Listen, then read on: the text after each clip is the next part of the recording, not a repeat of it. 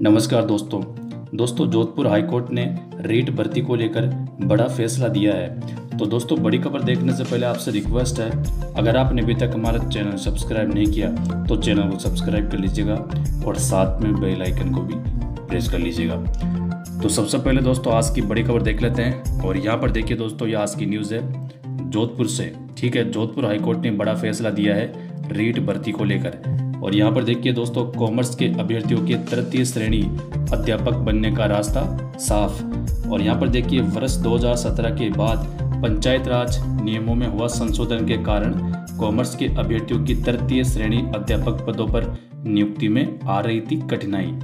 और यहाँ पर देखिए दोस्तों, उच्च न्यायालय जोधपुर की एकल पीठ में न्यायाधीश अरुण बंसाली ने चित्तौड़गढ़ की याचिकाकर्ता प्रियंका मनेरिया की याचिका को स्वीकार कर कॉमर्स स्नातक अभ्यर्थियों को तृतीय श्रेणी अध्यापक के लिए योग्य माना साथ ही याचिकाकर्ता को चार सप्ताह में मेरिट अनुसार नियुक्ति देने पद संबंधी सारे वित्तीय लाभ देने व विभाग द्वारा नियुक्ति में वरिष्ठतम वरिष्ठता क्रम को बरकरार रखने के निर्देश दिए हैं। और दोस्तों, ये नियम जो है 2019 में भी लागू होगा। और यहाँ पर देखिए, याचिकाकर्ता की ओर से अधिवक्ता अभिमन्यु सिंह रणीसर ने पैरवी करते हुए कहा कि याचिकाकर्ता कॉमर्स से स्नातक है। उसने बिज़नेस इकोनॉमिक्स विषय, स्नातक के तीनों साल में अनिवार्य विषय के रूप में पढ़े हैं, जो कि सामाजिक विज्ञान का समक्ष है।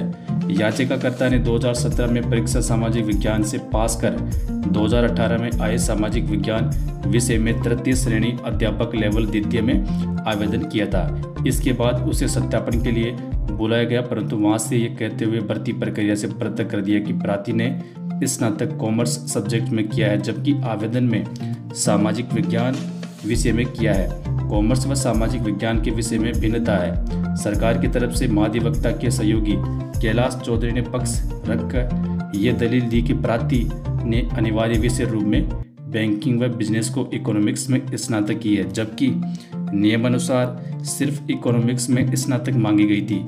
वह भी वैकल्पिक विषय के रूप में। साथ ही, सरकार ने कॉमर्स को सामाजिक विज्ञान से भिन्न बता कॉमर्स अभ्यर्थियों को सामाजिक विज्ञान के पदों पर भर्ती के लिए अयोग्य माना।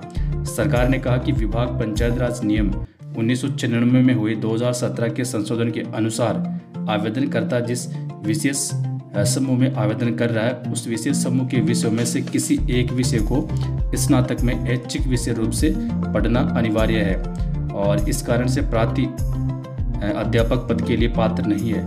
प्राति के अधिवक्ता ने कोर्ट में प्राति की स्नातक की मार्कशीट व सिलेबस दिखाकर यह बताया कि प्राति द्वारा कक्षा छः से आठ तक के विद्यार्थियों को पढ़ने लायक सामाजिक विज्ञान का ज्ञान स्नातक में भली भाती रूप से अर्जित किया है। अतः प्राति नियम अनुसार नियुक्ति के लिए पात्र है। और यहाँ पर देखिए दोनों पक्षों की बहस सुनने के बाद न्यायालय ने सरकार द्वारा दी गई दलीलों को खारिज कर उन्नीस सौ छियानवे के कानून की गलत व्याख्या करने को विधि विरुद्ध माना और साथ ही ये स्पष्ट किया कि न्यायालय द्वारा न्यायिक दृष्टांत अनुपालना में तृतीय श्रेणी अध्यापक के लिए चाहे गई योग्यता से अधिक योग्यता रखने वाले अभ्यर्थियों को नियुक्ति से वंचित करना को विधि विरुद्ध है।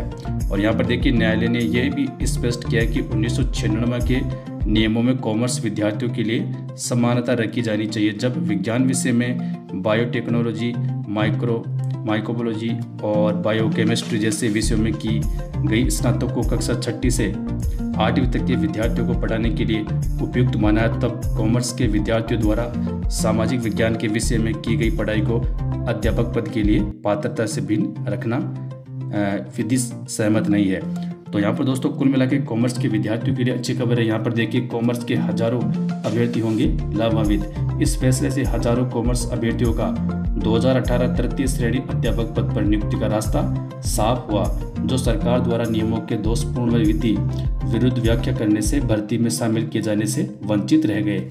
और दोस्तों, ये नियम अब लागू हो चुका है और आने वाली दोस्तों, दो हज़ार उन्नीस में जो भर्ती आएगी रेट की उसमें भी दोस्तों ये नियम लागू होगा और कॉमर्स के विद्यार्थियों के लिए दोस्तों कुल मिला के अच्छी खबर आई है जोधपुर हाईकोर्ट से। और यहाँ पर देखिए वर्ष 2017 के बाद पंचायत राज नियमों में हुआ संशोधन के कारण कॉमर्स के अभ्यर्थियों की तृतीय श्रेणी अध्यापक पदों पर नियुक्ति में आ रही थी कठिनाई। और यहाँ पर देखिए कॉमर्स के हज़ारों अभ्यर्थी होंगे लाभान्वित।